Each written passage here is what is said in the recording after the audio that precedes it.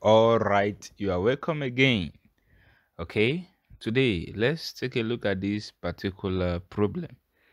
It says prove that the arithmetic mean of any two positive real numbers a and b is greater than or equal to their geometric mean.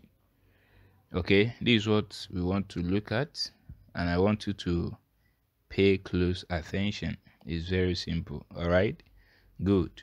Now, first of all, I want you to understand the question itself, understand the problem itself before devising or before finding a model to the problem. First of all, they say we are to prove that the arithmetic mean of any two positive real numbers, a and b, is greater than or equal to their geometric mean. First of all, what is arithmetic mean? Okay, arithmetic mean. You know, where they say summation x all over n, right?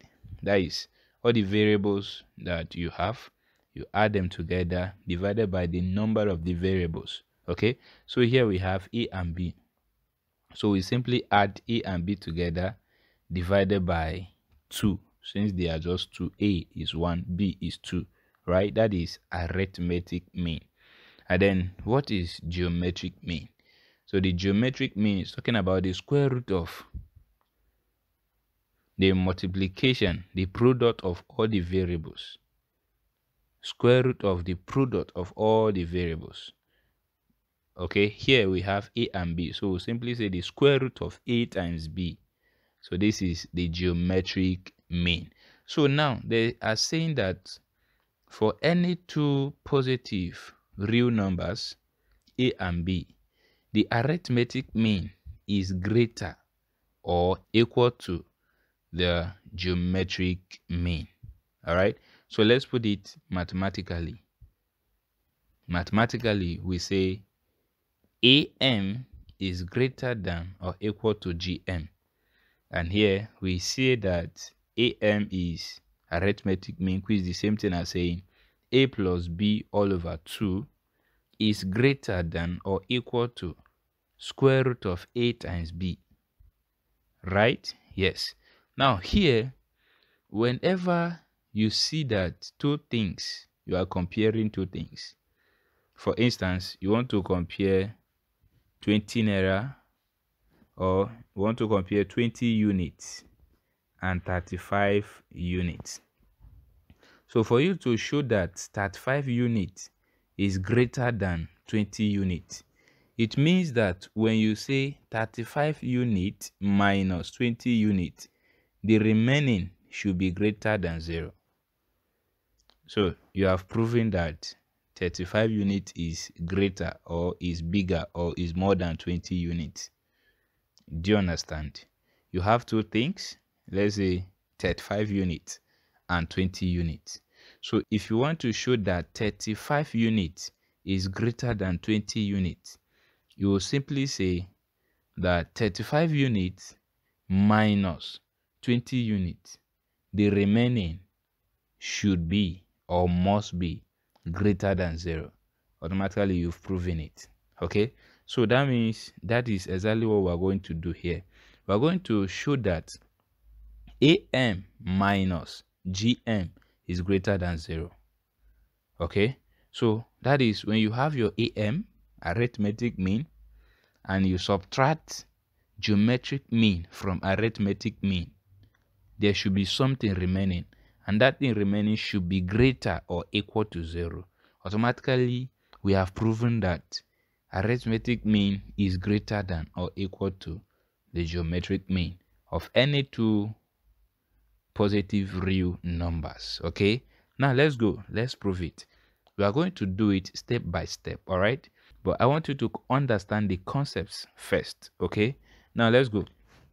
Let's start. We have AM minus GM is greater than 0, right? And we say that AM is A plus B all over 2 is greater than or equal to GM which is square root of a times b. Okay, yes, here, the first thing we're going to do is, let's just clear the fraction. Let's remove the fraction. How are we going to remove this fraction in this left-hand side where we have a plus b all over 2? We can simply multiply both sides by 2. So when we multiply both sides by 2, the fraction is going to go, right? So we multiply, we are going to have a plus b is greater than or equal to 2 square root of a times b. Right? Good. So what is the next thing? We want to remove the square root of a times b. Okay? We square both sides. Let's square both sides. So when we square both sides, we're going to have a plus b squared is greater than or equal to 2 square root of a times b, all in bracket squared. You know, it's still the same thing, right? Good. So, in this right hand side, the squared is for everything inside this bracket is for all the content, right? Let's distribute it. So that means 2 is going to have the squared and then square root of AB in bracket is going to have squared also. So for this square root of AB, the squared is going to cancel the square root, right? And then 2 squared is the same as 4. So here we have 4AB. Is that true? Yes. Now for the left hand side, you know we have a plus b in bracket squared. It's the same thing as saying a plus b in bracket times a plus b, isn't it? Because when we say squared, right, like 2 squared is the same thing as saying 2 times 2, isn't it? So here we have a plus b in bracket squared is the same as a plus b in bracket times the same a plus b in bracket. So if we multiply these two brackets now in our left hand side, we're going to have a times a a squared, a times b a b, b times a a b, b times b b squared. I'm very sure you know how to open brackets, right? Yes, it's greater than a or equal to 4ab. Now, we have ab plus ab. We join it together, it's going to give us 2ab. We have ab, ab join it together it gives us 2 of ab right good then we have b squared is greater than or equal to 4ab